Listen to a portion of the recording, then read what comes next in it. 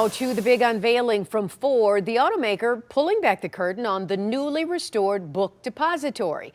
It marks the completion of the first phase of Ford's effort to revitalize Michigan Central Station. The depository will be home to Newlab Detroit. Ford calls it a high-tech startup ecosystem. It is providing a space for entrepreneurs to establish innovative companies. The book depository is located right next to Michigan Central Station in Corktown. 7 Action News anchor Mike Duffy is in the middle of all the excitement today. Mike, you had a chance to talk one-on-one with Executive Chairman Bill Ford Jr. And boy, this unveiling is just one step toward the big picture for Ford and its future there in the city of Detroit. Right, Mike? That's right, Carolyn. And as you can probably hear, the Motor City is very much alive tonight.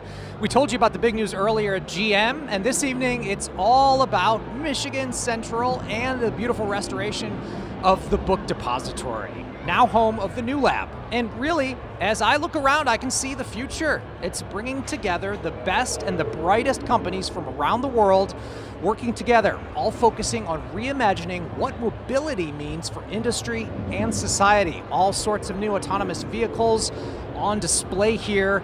And this, of course, just the beginning. I spoke with Executive Chair Bill Ford to ask him about the realization of his vision. You look around at all of this, specifically focused on Michigan Central. How does this embody the past, present, and future of Detroit?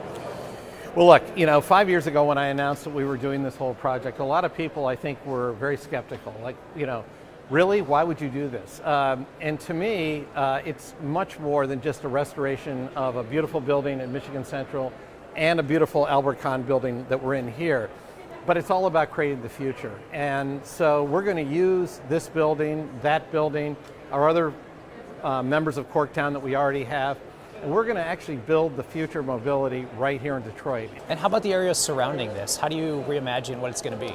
It's already happening. I mean, Corktown is already a vibrant area, and Southwest is starting to get vibrancy as well. And so um, I think once this building is fully up and running, and once Michigan Central is fully up and running, I think the effect on the neighborhoods and on the local businesses is going to be fantastic.